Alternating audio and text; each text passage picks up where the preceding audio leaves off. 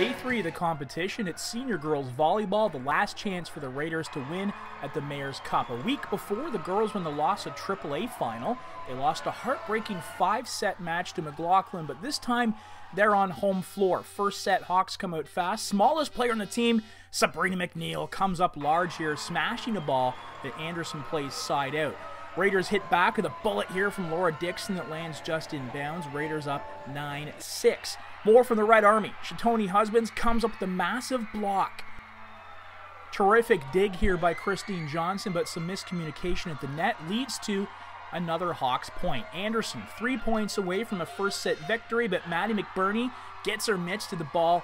Henry Street will take over and go on a late run in that first game, but on set point, Anderson rides out the purple wave. They'll take a 1 to nothing lead thanks to the 25 to 22 win.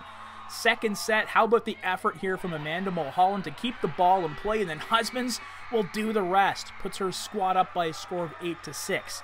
Set point here for Henry, but Laura Dixon, perfect little touch on the ball to knot things up 24 24.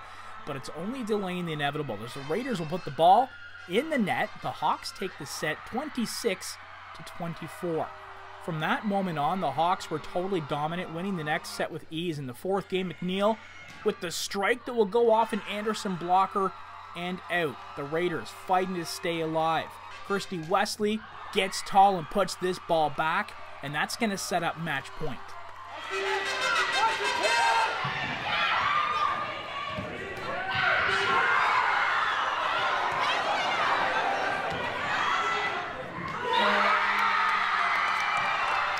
And that is the way it will end. The Henry Street Hawks win it by three games to one. They sweep the Mayor's Cup three games to nothing overall, four if you include the dodgeball. Anderson graduate and recording artist Chaos begrudgingly handing over the Mayor's Cup to the Purple and Gold.